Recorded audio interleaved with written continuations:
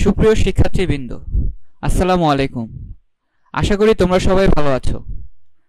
আজকে আমরা ষষ্ঠ শ্রেণির English subject second week assignment সম্পর্কে আলোচনা করব। প্রথমে আমরা প্রশ্নটি দেখে নিই। Think of your first day at school what experience did you have then how did feel happy frightened thrilled, or shy? Why did you feel so In your writing, use the following cases.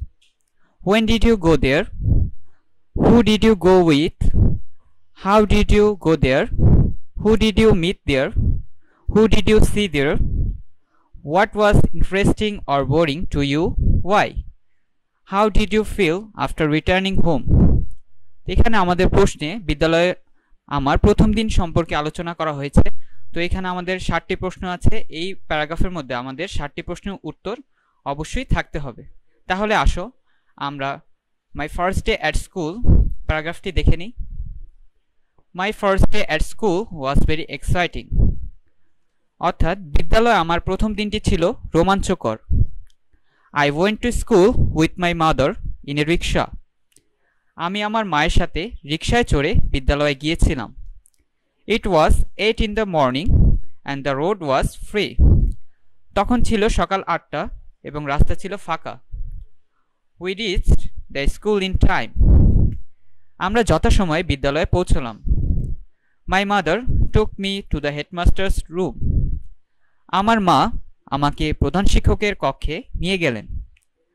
I felt both excited and frightened আমি উত্তেজনা এবং ভয় উভয় অনুভব করেছিলাম।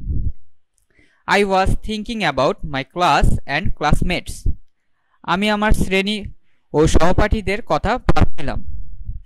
The headmaster called my class teacher প্রধান শিক্ষক আমার শ্রেণি শিক্ষককে ডাকলেন। I bade my mother goodbye and went to the classroom with the teacher আমি আমার মাকে বিদায় জানালাম এবং শিক্ষকের সাথে শ্রেণীকক্ষে গেলাম।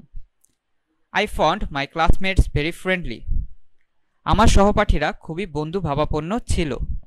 It's a memorable day in my life এটি আমার জীবনের একটি স্মরণীয় দিন। তো শিক্ষার্থীরা, তোমরা সবাই ভালোভাবে অ্যাসাইনমেন্টটি সম্পন্ন করবে। হাতে লেখা অবশ্যই সুন্দর হতে হবে, পরিষ্কার পরিচ্ছন্ন থাকতে হবে। তোমরা সবাই ভালো থাকো, সুস্থ থাকো, নিরাপদে থাকো। সে আশা ব্যক্ত করি আমি বিদায় নিচ্ছি। আসসালামু আলাইকুম।